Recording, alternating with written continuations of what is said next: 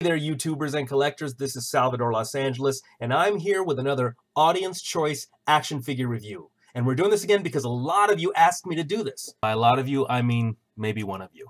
Whoever gets the most votes in, let's say, seven days, so we're going to leave this video up for seven days, and you have seven days to tell me which video you want to see. Whoever gets the most votes, whatever figure gets the most votes, is going to be reviewed. And we might have we might have a second place.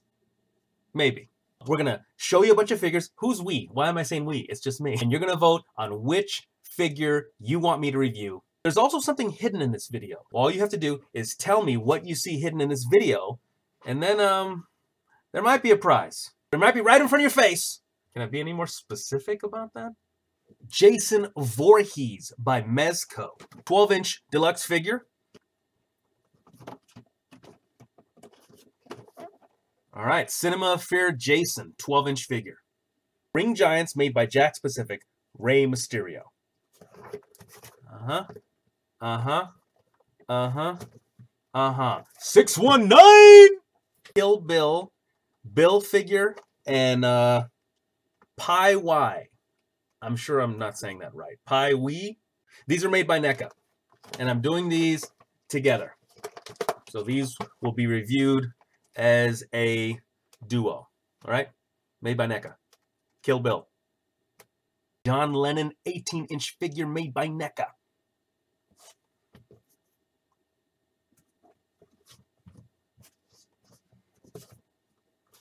All right, there is 18-inch John Lennon figure made by NECA. All we are saying is give peace a chance. That's all we're saying. Art Asylum Bruce Lee figure. The Dragon Lives. Huh? Oh? Huh? Oh? Huh? Huh? No!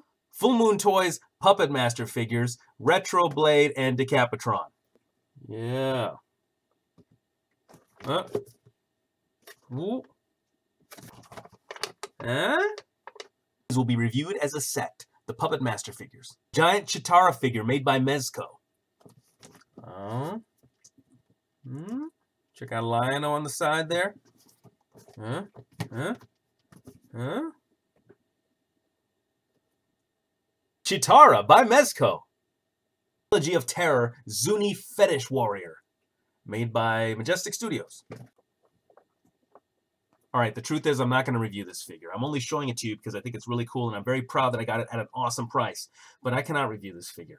In fact, my girlfriend doesn't even know that I have this figure. If my girlfriend found out that I have this figure, she would flip the f out. I'm telling you. This, this figure would terrify her.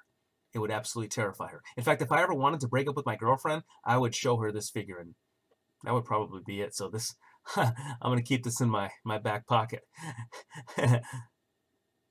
I got it for $40. Those are your options for the Audience Choice Action Figure Review. Choose wisely, and um, thanks for watching. I'm Salvador Los Angeles. That's all we're saying.